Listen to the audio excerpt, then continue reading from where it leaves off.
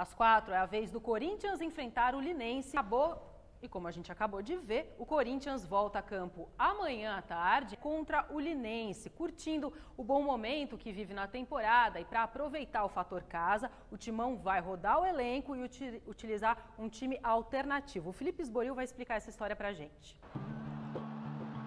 Jogar em casa é bom.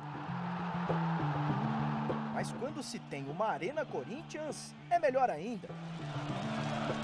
Neste final de semana, o Timão completa 60 jogos no novo estádio e perdeu apenas 4.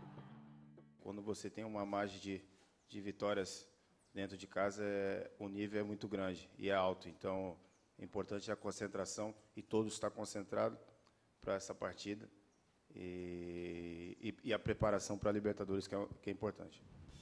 Um time alternativo estará em campo diante do Linense. Eu disse alternativo nada de reserva ou misto. Quando você tem um elenco desse, é, tudo começa a fluir de acordo. Então, nossa equipe está tá se construindo. Sei que chegou jogadores novos, né? Então, é, a confiança que ele está nos dando é muito importante para chegar dentro de campo e fazer um grande trabalho. A defesa do Corinthians é um dos principais trunfos construídos pelo técnico Tite. O setor foi o que menos levou gols do Campeonato Paulista, apenas seis sofridos. Ultimamente, Felipe e Iago têm sido titulares. Balbuena, sempre que pode, aproveita as chances. Mas amanhã, contra o Linense pelo Paulistão, Wilson ganhará uma oportunidade. Estou preparado para essa oportunidade, fico muito feliz em poder estar tá mostrando meu trabalho, em ter a confiança do professor Tite, em hoje estar fazendo parte desse excelente elenco que está em construção, assim como, como foi citado. E claro que é uma responsabilidade, né? Então, venham trabalhando forte, venham focado nos treinamentos. Então, corintiano, preste atenção. Estes serão os 11 titulares.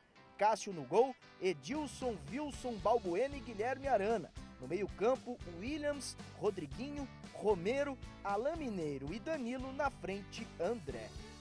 Enquanto o próximo compromisso pela Libertadores não chega, o Paulistão vai servindo para entrosar a equipe e também dar rodagem aos ditos reservas. Aqui ninguém se considera titular, e sim parte do grupo. O Tite achou a equipe ideal, mas ele já deixou claro que vai precisar de todo mundo, assim como vai acontecer nesse jogo de sábado. E ele quer sempre lealdade, respeitando quem está jogando e procurando dar, dar o melhor aí para estar, tá, quando pintar a oportunidade, que durante o ano sempre aparece, tá pronto para poder corresponder. Difícil de você simular isso no futebol brasileiro e o Tite fala muito e no fim você acaba acostumando. No Corinthians realmente não dá para você dizer, ah, é reserva, é titular, é time misto. Pô, pega, pega, pega o time que vai para o jogo. Cássio, óbvio, é titular. Edilson já foi titular, tem condições de ser titular. O Wilson está chegando agora, tudo bem, está buscando um espaço.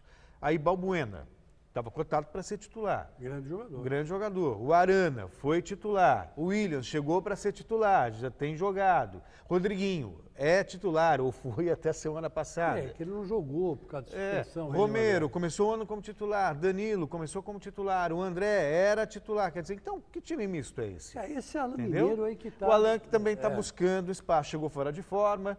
Aí o Tite deu uma bronca, falou, vai entrar em forma, fica fininho, que. E tá começando a ter oportunidade também. É, mas ele é habilidoso. Sim. Ele tem mostrado uma certa habilidade. Ele mesmo contra o Sérgio Falta Porteiro é lá... confiança, é, né? Ele, ele, ele até que entrou e não decepcionou. Mas, enfim, ainda tem muito chão pela frente. Agora, é outra aposta dele. Você vê, eu pensei até que ia jogar o Maicon